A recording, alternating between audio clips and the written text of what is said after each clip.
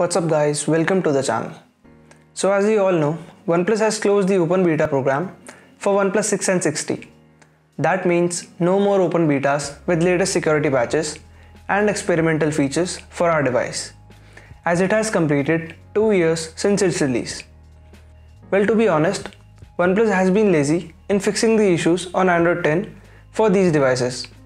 But not to worry, we will still get updates for one year down the line and this device is more than capable and hence I'll be supporting you all by making videos for it. So before we proceed, if you wish to stay notified about the latest videos, do click on the subscribe button and press that bell icon to receive instant notifications. It's free and helps the channel out. So now we don't have an option but to switch to a stable version of Oxygen OS since we'll be getting all the updates on the stable firmware. So it's better to switch over to the stable channel for maximum stability and the latest OTA updates. So to switch to a stable channel, all you have to do is first of all download the rollback package from link in description area for your OnePlus 6 or 6T.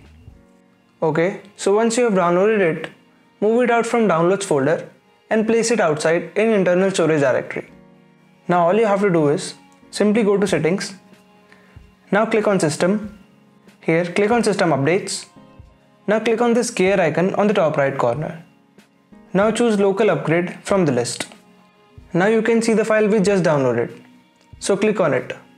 Now this update will wipe all the data on your device, so the system will ask for a confirmation. If you have backed up all the data, click on OK button. And now the system will start installing the rollback package.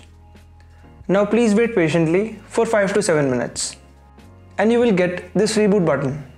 So click on that and now you will be taken to the Oxygen OS 10.3.2 on the next boot. So yes, it's quite simple and in fact a new version of Oxygen OS that is 10.3.3 has been announced and a video on that is coming really soon. So stay tuned for it. So that's it. This was the easiest way to roll back to stable Oxygen OS 10.3.2 on OnePlus 6 and 6T. So do like this video if it helps you out and subscribe for more videos like these and I'll see you guys in the next one.